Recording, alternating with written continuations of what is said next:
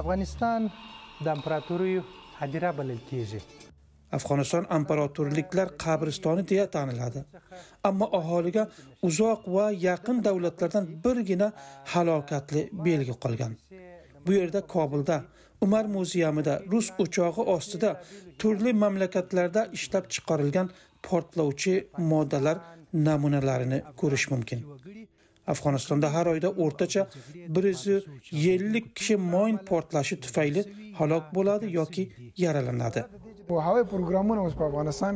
Bu muzeyga har hafta ikki va yo uch yuz maktab o'quvchisi keladi. Biz kelayotgan yoshlar uchun moyinlar va portlovchi moddalarning xavfi haqida ma'lumot beruvchi barnomalarni ko'rsatamiz.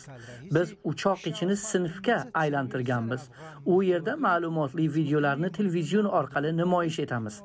muz ham afg'oniston xalqi uchun tirik tarixdir. Odamlar urushdan qolgan moyinlar va portlamagan muhimmotlardan zarar ko'rgan va har kuni kambag'al odamlar bu portlovchi moddalar tufayli talafot ko'rishadi. Yillar davom tortgan moyin tozalash amaliyotlari natijasida afg'onistonning katta qismi moyindan tozalandi. Biroq ko'plab hududlar hali ham insonlar hayoti uchun o'ta xavfli.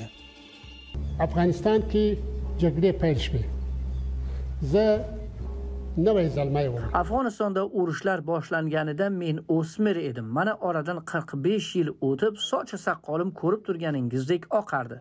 Ammo afsuski hali ham urushdan qolgan moynlar va portlovchi moddalar katta muammo. Ma'lumotlarning kamligi va odamlarning bu xavf va xatarga e'tiborsizligi tufayli har kuni bir kishi emas bir kishi yo jarohatlanadi yoda qurbon bo'ladi. Afsuski urushdan qolgan moynlar va muhimotlar hali ham bor.